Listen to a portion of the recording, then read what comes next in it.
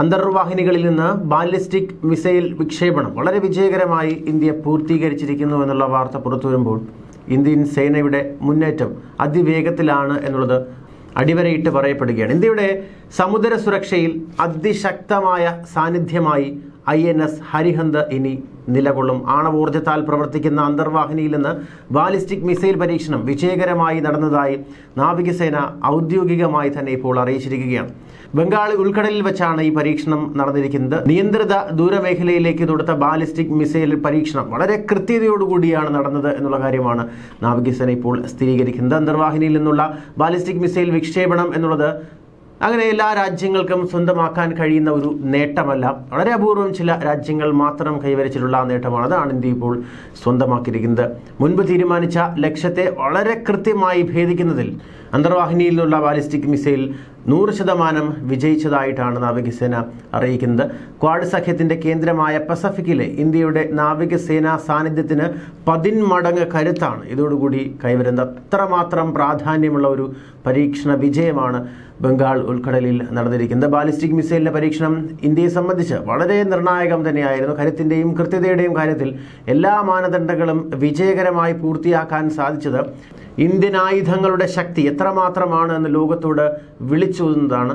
സൈന്യത്തിന്റെയും D R ഡിയുടെയും സാങ്കേതിക വിദ്യയുടെയും ഒക്കെ മികവ് എത്രമാത്രമാണ് എന്ന് ലോകരാജ്യങ്ങൾക്ക് തെളിയിച്ചു കൊടുക്കുന്ന ഒരു പരീക്ഷണം കൂടിയായി ഇത് മാറുകയാണ്.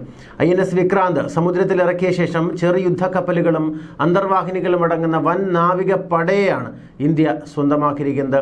ഇന്ത്യയെ സംബന്ധിച്ച് ഇനി കടൽ യുദ്ധങ്ങളിൽ നിർണായകമായിട്ടൊരു സ്വാധീന ശക്തിയായി മാറാൻ കഴിയും എന്നുള്ളതാണ്.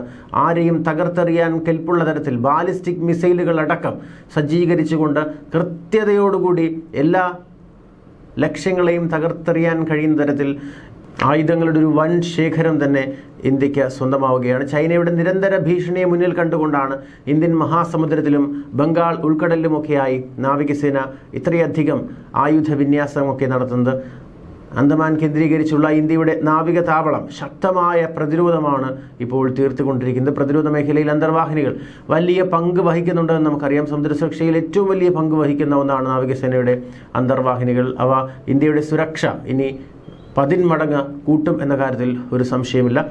ആറായിരം ടൺ ഭാരമുള്ള ഹരിഹന്ത് രണ്ടായിരത്തി പതിനാറിലാണ് കമ്മീഷൻ ചെയ്യുന്നത് വിശാഖപട്ടണത്താണ്. രണ്ടായിരത്തി ഒൻപതിൽ നിർമ്മാണം പൂർത്തിയാക്കിയത്. ഏഴ് വർഷത്തെ തുടർച്ചയായ പരീക്ഷണങ്ങൾക്ക് ശേഷമാണ് നാവികസേനയുടെ ഭാഗമായി ഹരിഹന്ത് മാറുന്നത്. രണ്ടായിരത്തി പതിനെട്ടിൽ എല്ലാവിധ ഓപ്ഷനുകളിലുമായി നാവിക വ്യൂഹത്തിന്റെ പ്രധാന ഭാഗമായി തന്നെ ഹരിയന്ത് മാറും. സമുഷ്ടമായ യുറേനിയത്തെ ഇന്ധനമാക്കിയുള്ള എൺപത്തി മൂന്ന് മെഗാവാൾട്ട് മർദ്ദത്തിലാണ് ലൈറ്റ് വാട്ടർ റിയാക്ടർ അന്തർവാഹിനിയെ പ്രവർത്തിപ്പിക്കുന്നത്.